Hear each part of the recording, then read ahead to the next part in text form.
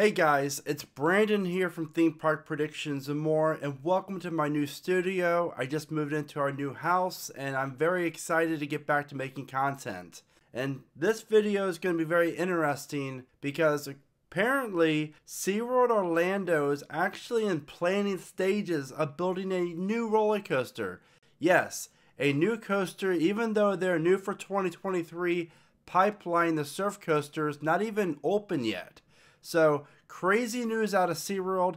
I'm all for it.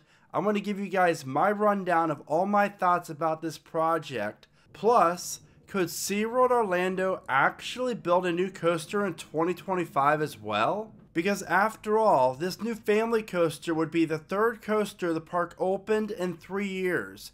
Because 2022 was Icebreaker, which was delayed, then 2023 the Pipeline Surf Coaster, then 2024, if it does open then, the Antarctica Replacement Family Coaster. So I have a lot to dig into here, but first, a huge shout out goes to Midway Mayhem and Screamscape for first reporting the news of a new roller coaster coming to SeaWorld Orlando, possibly 2024, maybe 2025. So why does this move make perfect sense for SeaWorld?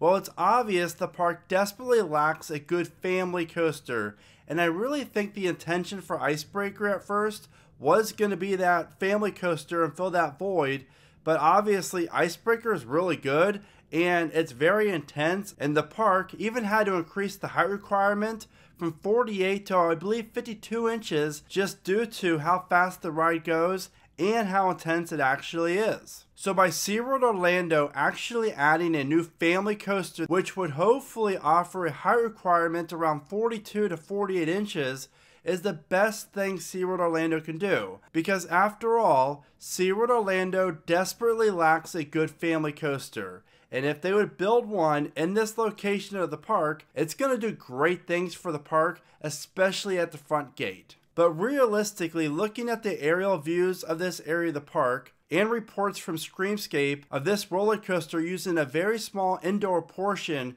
and then the rest of the roller coaster be located behind the Antarctica building. But as you can see, there really isn't a lot of room here for an extended roller coaster layout. But use your imagination a little bit. What if SeaWorld Orlando would actually make this roller coaster travel underneath Kraken and have the track extend onto the detention pond behind the ride, basically filling the gap between Mako and Kraken. Basically picture a ride like SeaWorld San Antonio's Jet Rescue Coaster, but instead of basically the entire layout over the water, only about half of the layout would actually be on top of water. So are we looking at an Intamin straddle coaster? Because after all, that is the exact type of coaster that SeaWorld San Antonio opened when they opened Jet Rescue. And then Busch Gardens Williamsburg in 2023, as we know, is opening DarKoaster, a new Intamin straddle coaster, and SeaWorld San Diego is also opening one this year. So if you follow the trends, and I really do feel like Busch Gardens Tampa could be getting one as well, I definitely could see something like this fit really well at SeaWorld Orlando and offer that straddle style seating position. But what if it's not Intamin? What if it's Vekoma? I mean, after all, Big Bear Mountain looks phenomenal. And not saying this ride's going to be as large as Dollywood's new for 2023 family coaster, but that coaster offers three launches and just under 4,000 feet of track. So just imagine a ride like that being located in this area of the park and interacting with Kraken and the water behind Kraken. That's a very intriguing project and I'm all for it. But according to Screamscape, there's another coaster designer out there that's at play and apparently has been seen at the park looking over this project, and that would be Mack Rides.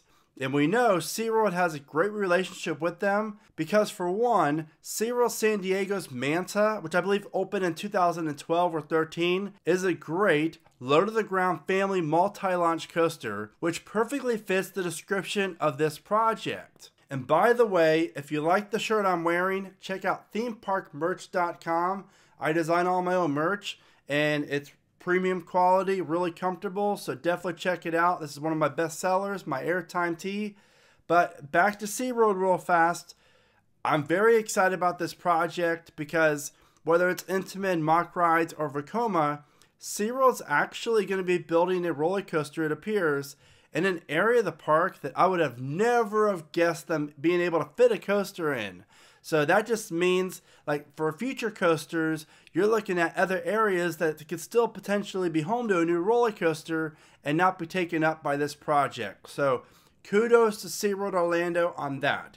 Now, if only the park could do something with the Wild Arctic building next. But let's be honest here. Antarctica, the dark ride, really was never good. And SeaWorld Orlando really hyped it up to be something like Universal caliber and definitely was not. So I'm very glad that the ride is never coming back, and instead, we might be having a brand new roller coaster being take place here.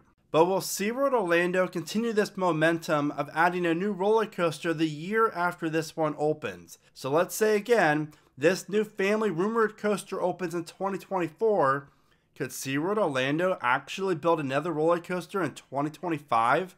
I mean, that's pretty much the unthinkable. However, the trend that SeaWorld's on with all their parks and Busch Gardens parks, it wouldn't surprise me, but I really feel like the park will take a year off in 2025, at least from the roller coaster department, and really focus on adding a few new thrill rides to the park or family rides, something really beefing up the ride offerings, just because you saw the company do that to SeaWorld San Antonio over the last few years, and the park has done great with that. Park guests love those rides and they're always busy. And it really does make sense because SeaWorld Orlando desperately lacks flat rides. All they really have is coasters. So I would love to see the park add two to three major family slash throw rides. I really feel as if that would do really well for the park and be at the best interest for park visitors as well as long term growth for the park. But enough about me. What do you guys think of this? Do you think SeaWorld Orlando is actually going to be building a new roller coaster in 2025?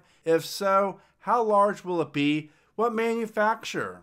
Exciting times at SeaWorld Orlando because this year they're opening up the brand new B&M Surf Coaster. Then next year, they might be opening up a brand new coaster as well. So if you have not been out to SeaWorld Orlando recently, you gotta check out the park this year or next. It's one of the best parks you'll ever visit. And on that note, Thank you guys so much for watching. Remember to smile today, think positive, and keep riding coasters.